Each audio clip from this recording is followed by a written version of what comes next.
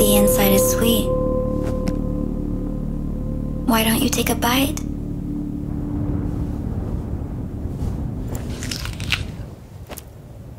In the house for a very long time